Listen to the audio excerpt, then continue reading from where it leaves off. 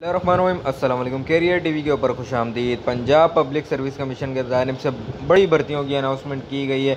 Law and parliamentary affairs department में और agriculture department में। लेकिन दोस्तों, वीडियो शुरू होने से पहले मेरी आपसे छोटी सी रिक्वेस्ट है। अगर आप मेरे चैनल पर नए हैं तो काइंडली मेरे चैनल को सब्सक्राइब करें और साथ में लगे बेल आइकन को ज़रूर दबाएँ, क्योंकि मैं रोज़ बरोज़ नई जॉब्स की अपडेट सबसे पहले आप तक पहुँचाता हूँ। अच्छा पहले नंबर पे जो जॉब है उसका नाम है एडिशनल डायरेक्टर की एडवाइजरी विंग के अंदर ठीक है?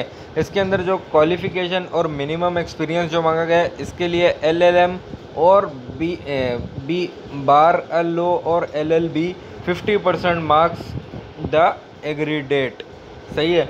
और equivalent qualification from a reputed university institute recognise by the higher education ठीक है, इसके अंदर जो मेल फीमेल दोनों अप्लाई कर सकते हैं। बत्तीस साल से लेकर पचास साल तक एज पाँच साल की रिलैक्सेशन दी जाएगी, जिसके अंदर टोटल मिला के फिफ्टी फाइव ईयर्स है जो। ठीक है फीमेल के लिए बत्तीस से पचास साल और आठ साल की रिलैक्सेशन दी जाएगी। डोमिसाइल पूरे पंजाब से इसमें लोग अप्लाई कर सकते हैं और ट्रांसजेंडर भी।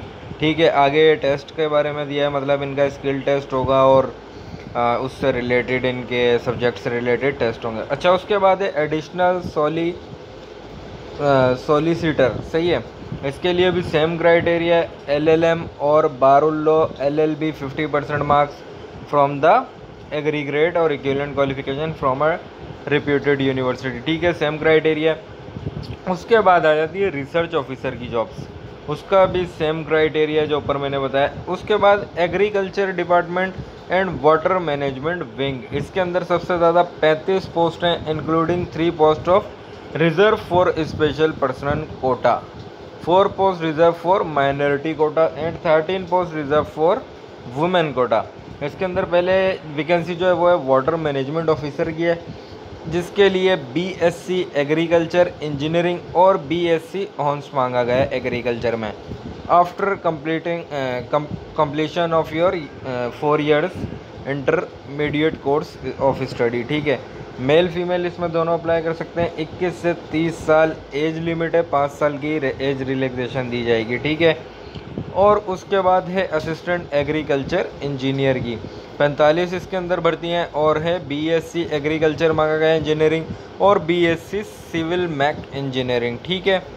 बाकी इसके अंदर अप्लाई करने की जो आखिरी तारीख है वो है 2 अक्टूबर 2020 और अप्लाई करने का प्रोसेस बहुत आसान है। ऑनलाइन आपने इसमें अप्लाई करना है पंजाब पब्लिक सर्विस कमीशन की वेबसाइट के ऊपर जाके, ठीक है? आपने वहाँ पे जाना है, इसके अंदर ऑनलाइन अप्लाई करना है और इसका चलान पे करना है, जितना भी चलान वहाँ पे आ रहा है। यही थी आज की हमारी ख़ास वीडियो। अगर वीडियो पसंद आए तो लाइक करें, चैनल को सब्सक्राइब करें। वीडियो देखने के लिए शुक्रिया। अल्लाह